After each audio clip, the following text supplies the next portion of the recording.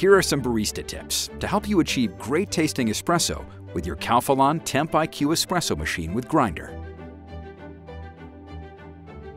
When it comes to getting a good extraction, using freshly roasted, good quality beans is the first and most important step. All old coffee beans, no matter the grind settings, will have a fast extraction, producing an under-extracted espresso that tastes sour and watery. Coffee beans are best flavored between 5 and 20 days after roast, so look for beans that have a roasted date on the bag and buy small 250 gram batches to reduce storage time. Storage is key to preserve the freshness of the beans, so always keep them in an airtight container in a cool, dark cupboard. For better tasting results, fill the water tank with filtered water. Fine-tune the grind size until it's just right, not too coarse or too fine. Turn counterclockwise for a coarser grind and clockwise for a finer grind. Once you have perfected your grind settings, fill the filter basket to the right amount.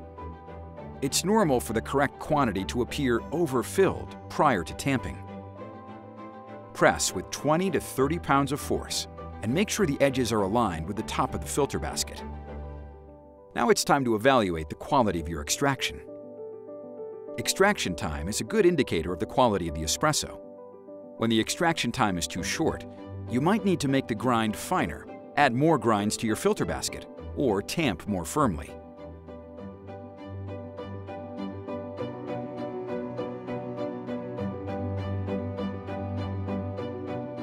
When the extraction time is too long, you should make the grind coarser, use less grinds, or try tamping more softly.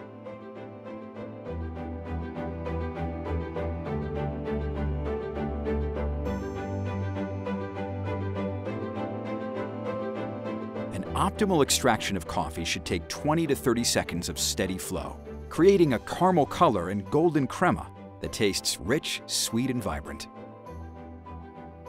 Now you can enjoy your great tasting espresso from your Calphalon Temp IQ espresso machine with grinder.